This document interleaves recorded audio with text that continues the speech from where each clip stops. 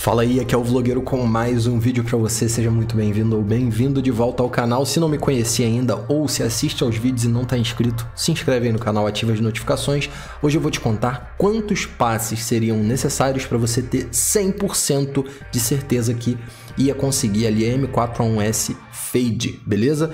Essa ideia de vídeo veio do comentário que o Rodrigo Rox acabou de fazer e foi o seguinte: Vlogueiro, não compensa comprar 5 passes e abrir tudo os créditos na M4 Fade que aí mesmo ela não vindo, você conseguiria fazer o contrato de troca tranquilo e lucraria tranquilo pegando ela, já que ela é item vermelho e o único da caixa.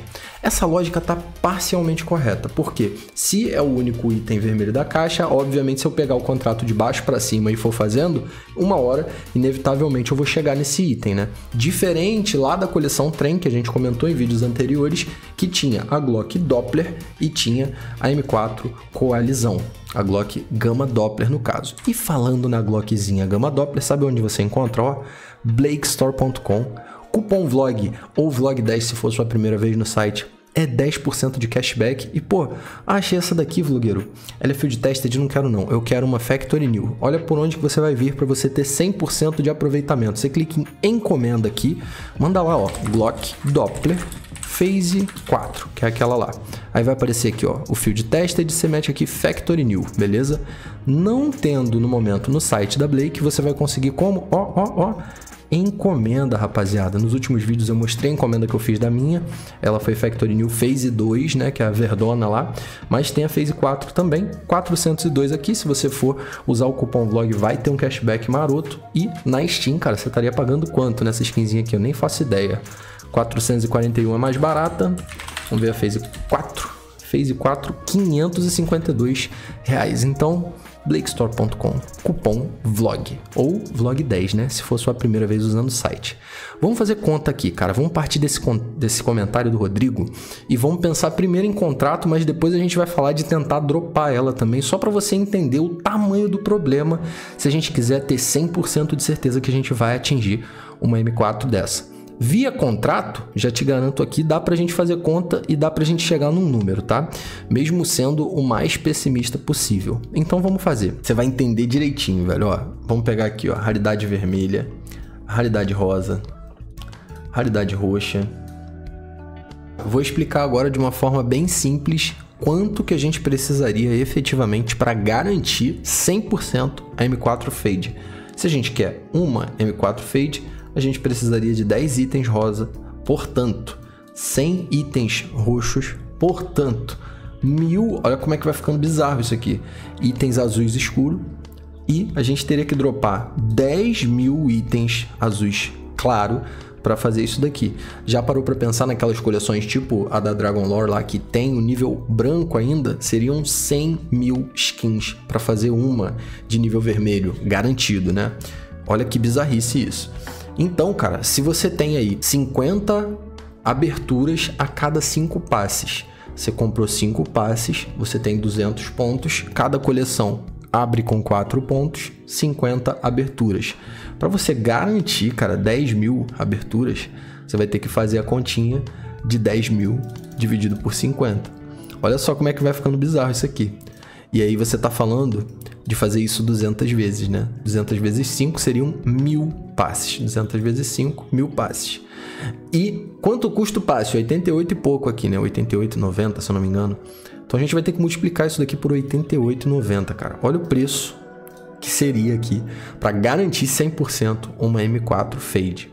88 mil reais. E aí você pode argumentar, blogueiro, mas eu tenho certeza que se eu pegar 88 mil reais e começar a abrir, com muito menos, eu garanto que vem uma M4 Fade. Na minha conta eu tenho certeza que não, tá? Mas tem gente aí que pode argumentar. E o contra-argumento aqui é muito simples e ele parte do princípio do que foi explicado no último vídeo aqui, ó que eu vou passar um pedacinho para você para você entender melhor. Como que funciona isso daqui? Isso daqui já foi muito estudo aí que a gente fez, eu não vou te mostrar fonte e tal, só confia, é desse jeito, tá? A cada um item vermelho que você dropa, você pode dropar 5 itens rosa. E a cada 5 rosa, você vai multiplicando por 5 aqui, ó. 25 roxos. A cada 25 roxos, 125 itens azuis. A cada 125 azuis, 625 itens azuis claros e você multiplicaria de novo aqui para baixo, beleza? Isso daqui está diretamente relacionado com o sistema de contrato de troca. O mercado funciona em harmonia por conta dessa divisão, dessa matemática que a Valve é, pensou lá no início. O problema é, o que, que acontece aqui? Ó? São 6 mais 25 mais 125 mais 625.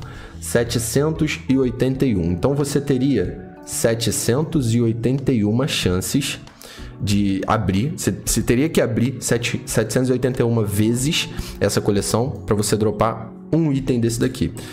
Uma questão que muita gente confunde, ah, não funciona assim, eu tenho sorte, não sei o quê, é porque acaba tirando mais itens, né?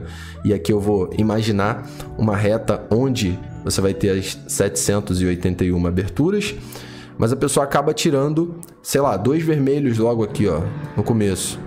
Na média, tá? A teoria dos grandes números, isso. Na média, milhares e milhares de aberturas você vai ter 1 para 5, para 25, para 125 e tal. Então a chance de você tirar um item realmente é, legal é pequena. Vou até tirar aqui nesse momento para conduzir essa explicação a partir daqui.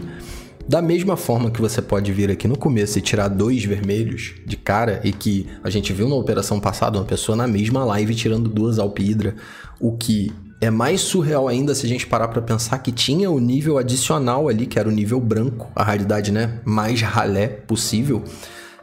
Da mesma forma que isso aqui é possível sem inviabilizar a questão da probabilidade, é possível que você abra 88 mil reais de créditos ali. Jogue igual louco para farmar os créditos, né? Porque não é nem imediato, não é nem pagou, levou igual eram as estrelas nas operações anteriores. Você tem que pagar e ainda por cima você tem que jogar para farmar as estrelinhas. Então é possível que você gaste 88 mil reais, abra tudo e não venha nenhuma Alp. Olha só, Alp não, é porque eu confundi com a Alp Fade, né? Não venha nenhuma M4 Fade.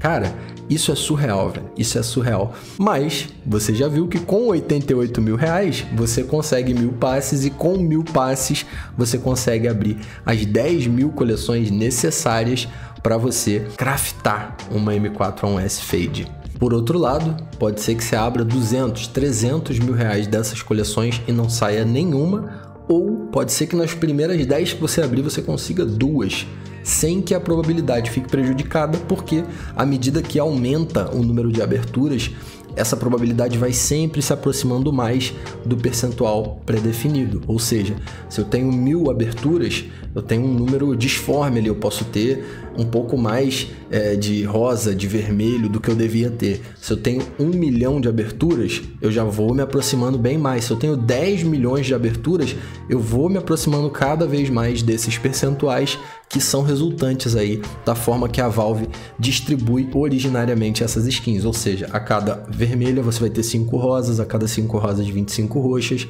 e assim por diante. Não esquece de compartilhar essa curiosidade com aquele seu amigo que joga CS, às vezes não entende muito de mercado, né? Pode ficar tudo muito mais claro para ele e fala para ele parar de ficar abrindo essas caixas, cara. Todo mês cai o pagamento do cara, o cara vai lá, entorna na Valve e ele não faz ideia que é tão difícil assim de você dropar a parada. Deixa seu likezão, se inscreve se quiser apoiar ainda mais, se torne membro do canal. Até a próxima, partiu!